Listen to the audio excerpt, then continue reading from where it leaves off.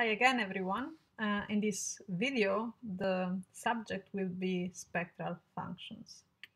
This is the last uh, application we will be considering in the context of non-zero temperature QCD uh, on the lattice.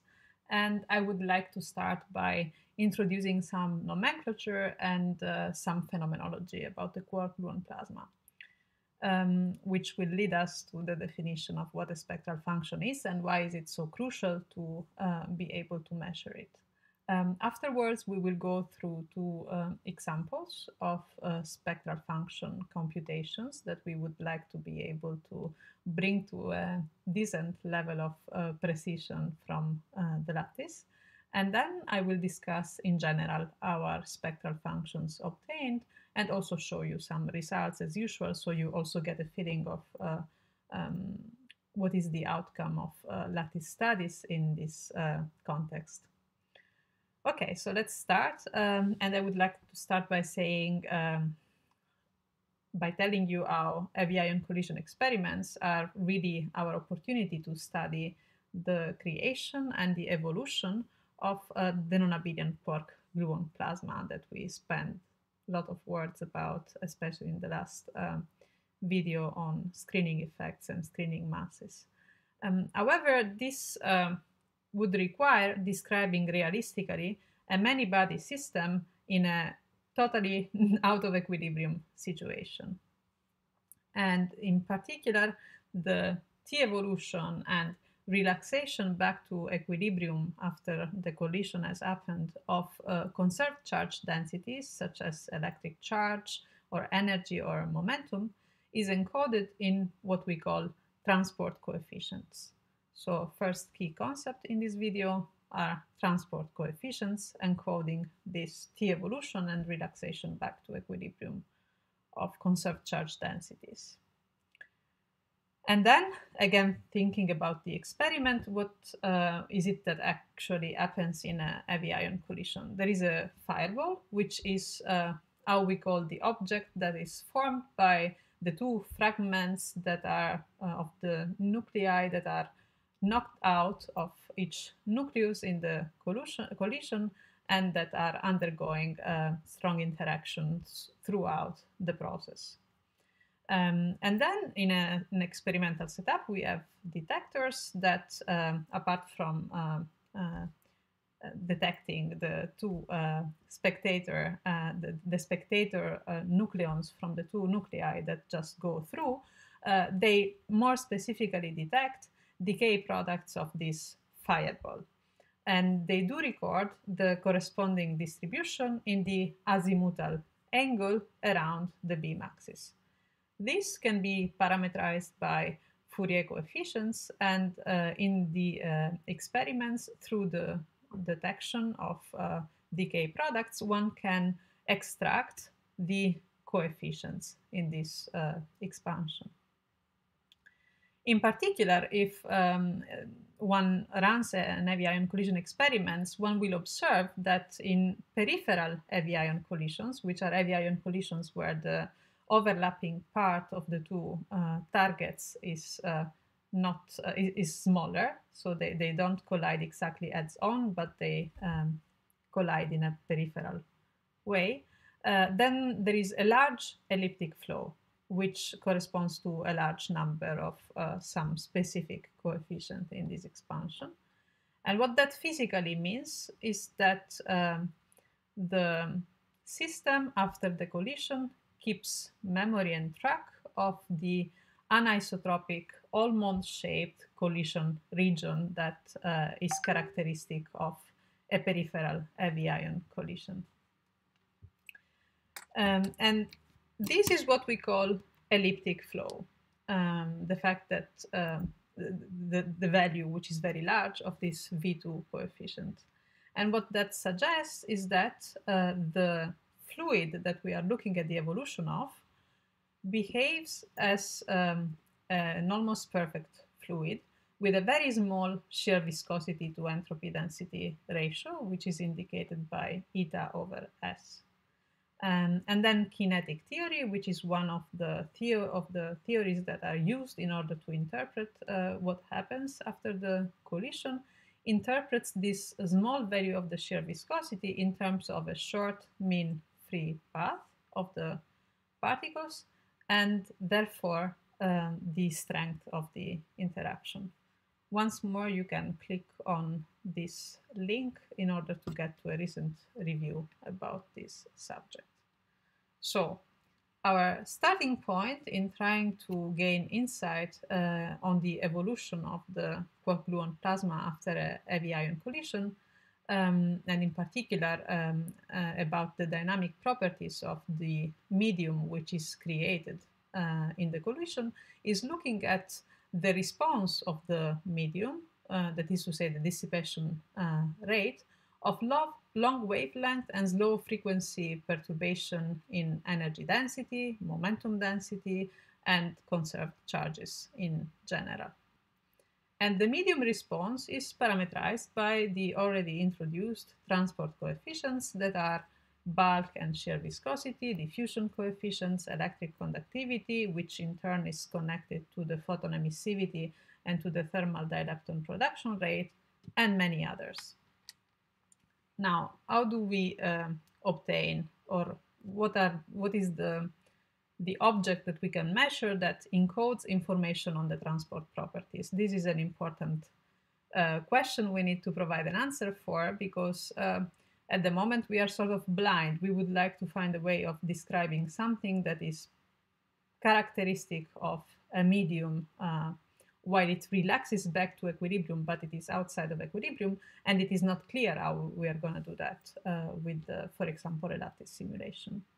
However, transport properties um, are um, to be obtained via so-called Kubo formulae, which are based on linear response theory, um, by the small frequency form of the spectral functions. So we ended up with mentioning the subject of the video, spectral functions. And what are these? These are quantities that via an integral transform are related to the conserved current correlators that we measure in lattice QCD. So what is the chain? You have conserved current correlators, which is what you can measure in lattice QCD. Then there is an integral transform that connects these uh, correlators to the spectral functions. And the small frequency behavior of the spectral function through Kubo formula can be connected to the transport properties of the plasma. In this way, in this intricate set of uh, steps, we get from uh, something that we can measure on the lattice to, um, to get it reflected into transport properties of the plasma. It must be kept in mind that uh, it is important to look at those objects uh, because it uh, helps us reaching a very important goal, uh, which is understanding what is the right framework to apply for the real-time description of the evolution of the plasma because different dynamical regimes demand different real-time descriptions for the QGP dynamics as a function of the temperature and corresponds to different characteristic features in the spectral functions. So if we are able to help identifying these characteristic features, then we know uh, what is the best way to treat them in a real-time um, framework, which is different, which is not uh, what we have with Lattice QCD. To have a better picture in mind, I think it is useful for you to look at this uh, sketch of uh, what happens in the um, heavy ion collision experiments. And this is the almond shaped region that I was talking about. This is a, the, the, the sketch of a peripheral collision and then QGP is formed. There is a hydro expansion and then freeze out and hadronization as the quark gluon plasma um, is cooled down.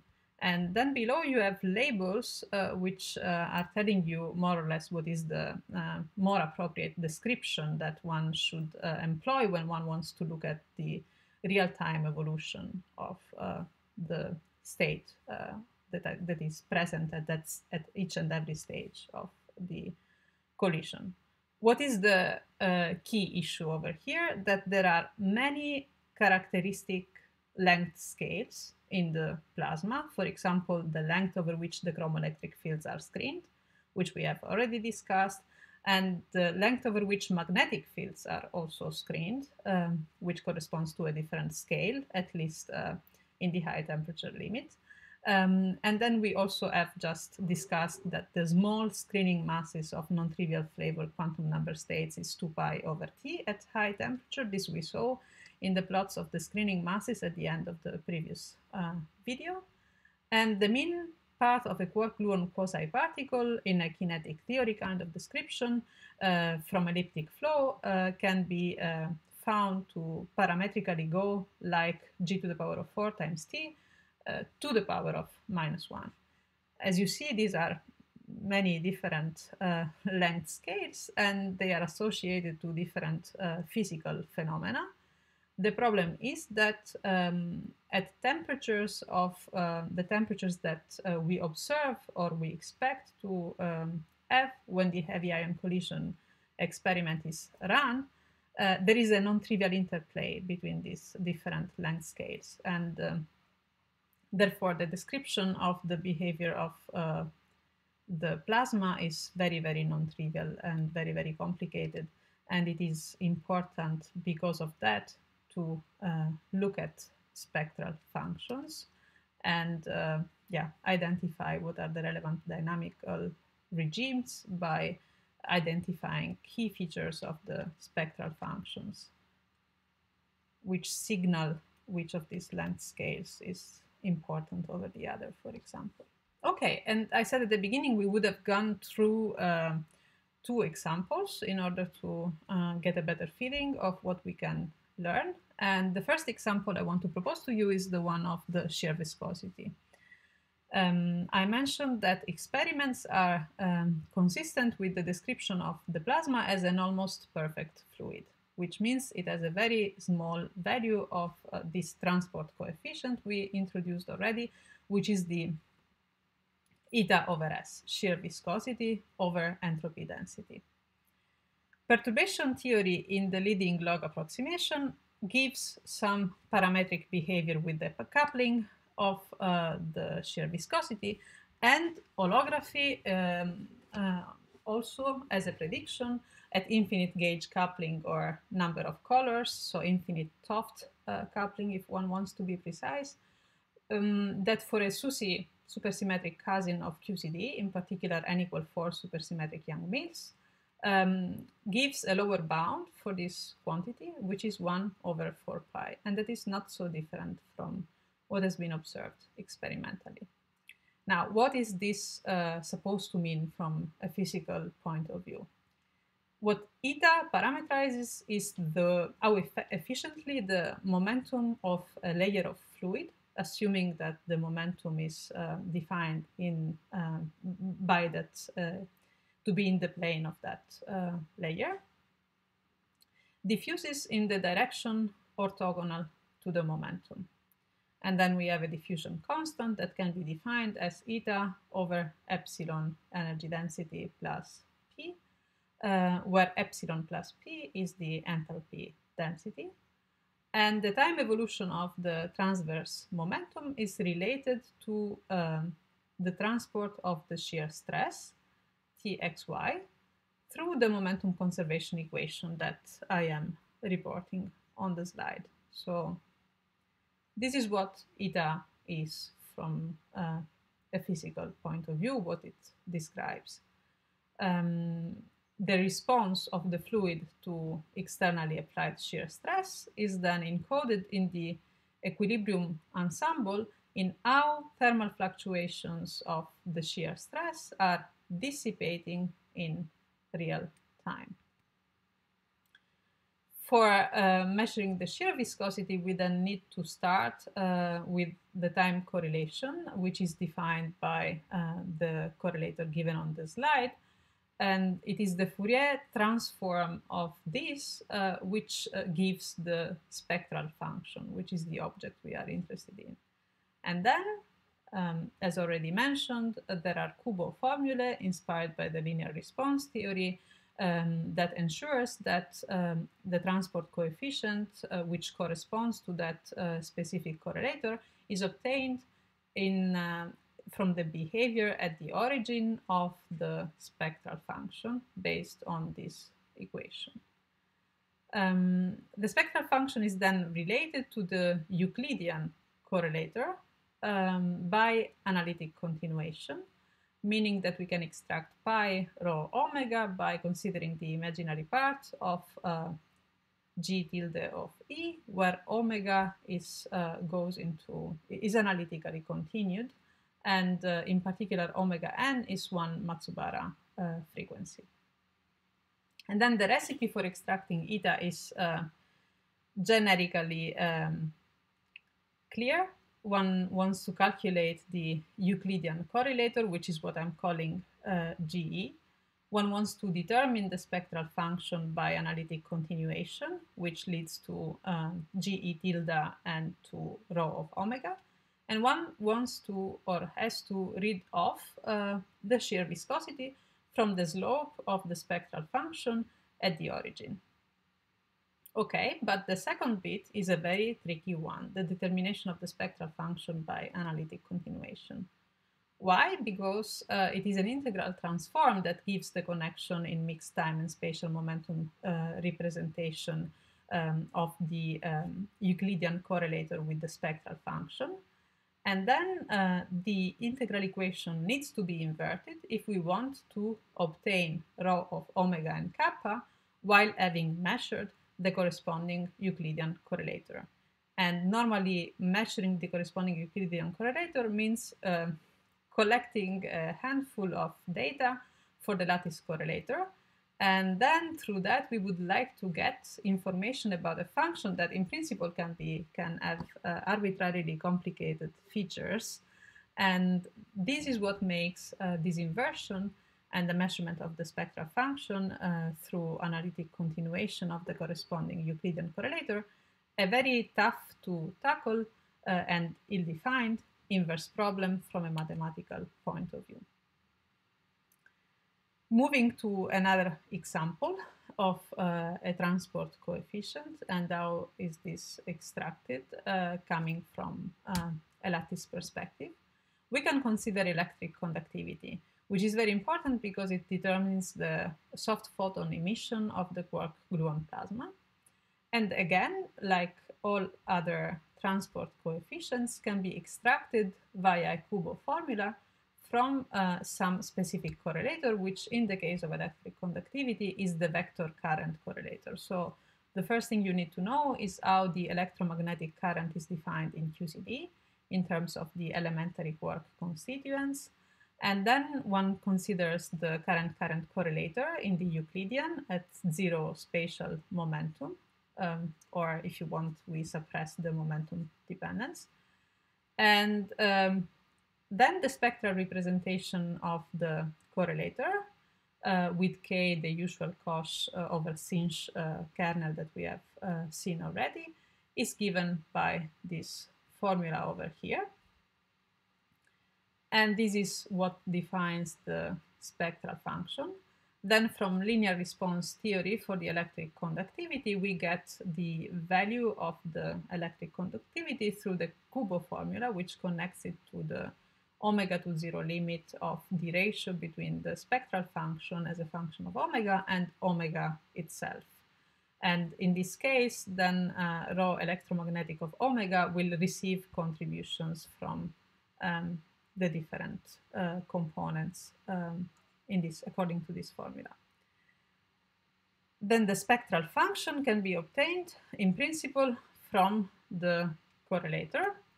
However, um, in the electric conductivity as much as in the case of the shear viscosity, we are dealing with uh, an ill-defined inverse problem, which is made particularly uh, problematic by the fact that the input data are Euclidean data of uh, the lattice computed correlators, and uh, by themselves, they do not single out a unique answer because it is only one handful of discrete data, and from that, one would like to solve the integral equation uh, or invert it and obtain the spectral function. And then one needs um, some sort of uh, regularization of this inversion, uh, which means one needs to um, do the inversion, uh, but with uh, some criteria or assumptions that uh, allow for singling out um, a rho of omega from a number of solutions that all in principle would be able to reproduce our discrete input. Let's not forget that our input is not just discrete, but also noisy. It comes with errors because uh, of how we obtain the results in a Monte Carlo simulation. Um, however, for that, uh, various methods have been uh, proposed and considered for obtaining a spectral function in general. So now this applies to the case of shear viscosity or electric conductivity or any other transport coefficient. One method is the Backus-Gilbert method, and here you have the reference. This comes from a very different uh, field. In the case of the Backus-Gilbert method, no assumption about any particular feature of the spectral density is made uh, at the beginning. One just starts with an estimator that uh, is um, corresponds to this integral expression and uh, the delta, uh, the um, resolution function, uh, respects some normalization condition. So what we here called rho tilde of omega 0 is a convolution of the exact spectral function with the resolution function that respects this normalization condition.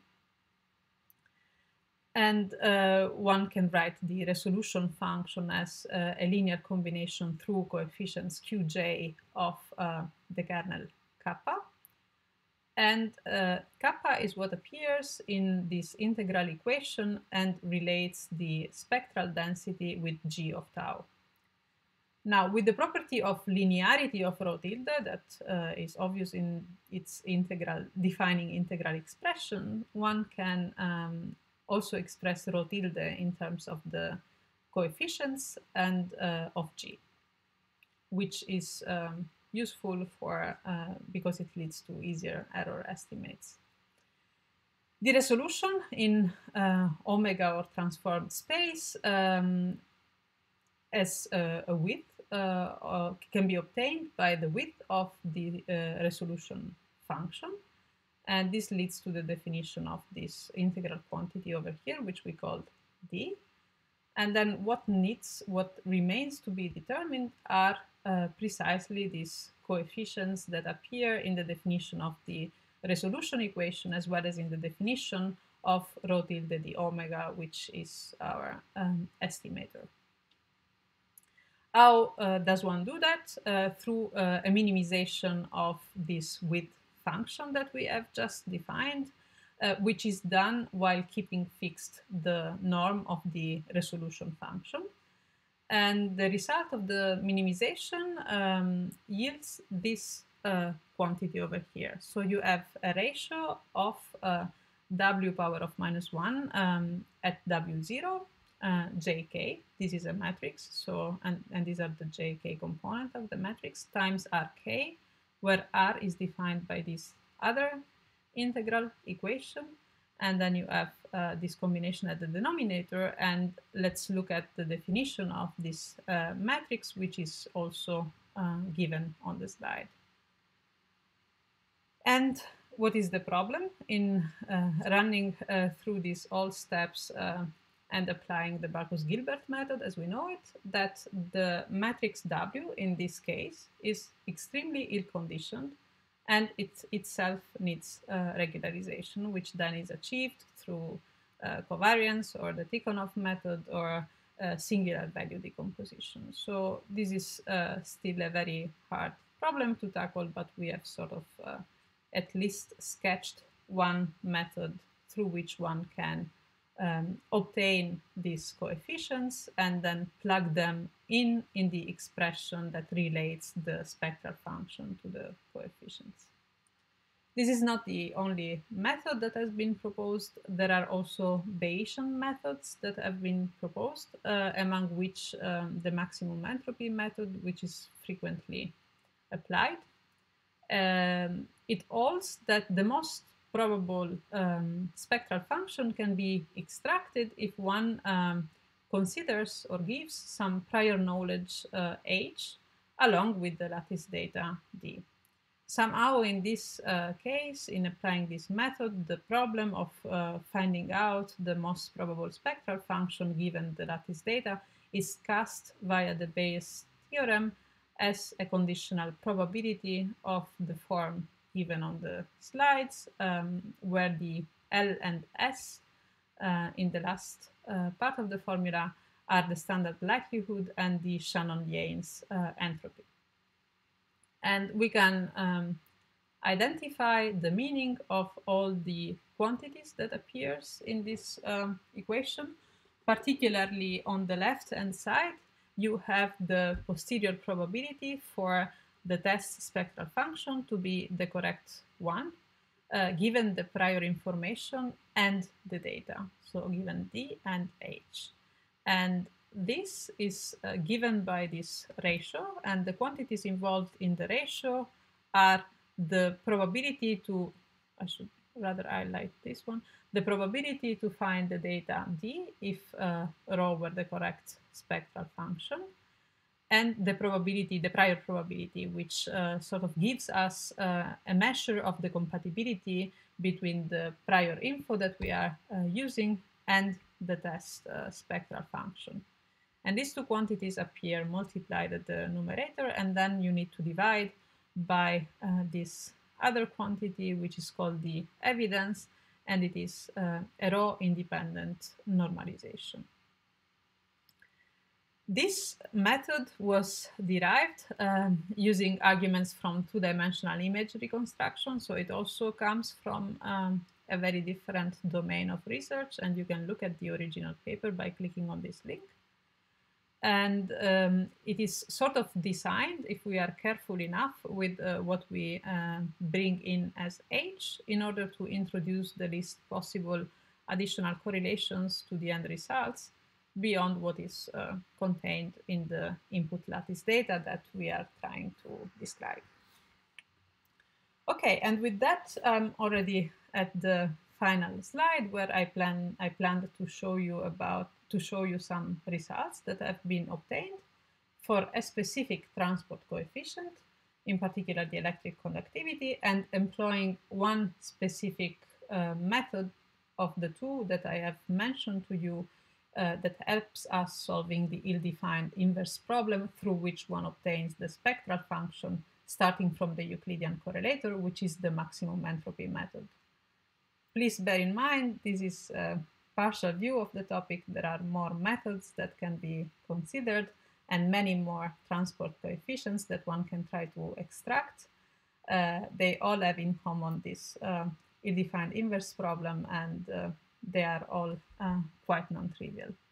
So in 2014, Aarts and other people have obtained, for example, results for the electric conductivity. You can uh, look at the conserved vector current correlator as a function of uh, tau t, which is the Euclidean time. And um, one can also from there extract the spectral function, uh, rho of omega divided by omega square. And in this plot, the vertical dashed lines indicates the mass of the corresponding vector meson. You can read out the different temperatures that have been uh, considered and uh, you can see that the analysis was performed independently uh, for the light and the strange sector. And out of this reconstruction of the um, spectral function, one can then um, extract um, via Kubo formula the corresponding transport coefficient, which was uh, then plotted in this other plot separately for the light and for the strange sector. And one can look, uh, this is the important bit of information, at the temperature dependence of this uh, transport coefficient as a function uh, of the temperature. In this case, what you have on the y-axis is the transport coefficient normalized by t and also by uh, this quantity that I'm specifying on the slide which concludes our uh, discussion about spectral functions um, and uh, in particular also our discussion about non-zero temperature QCD before we move on to non-zero density QCD. So thanks for watching.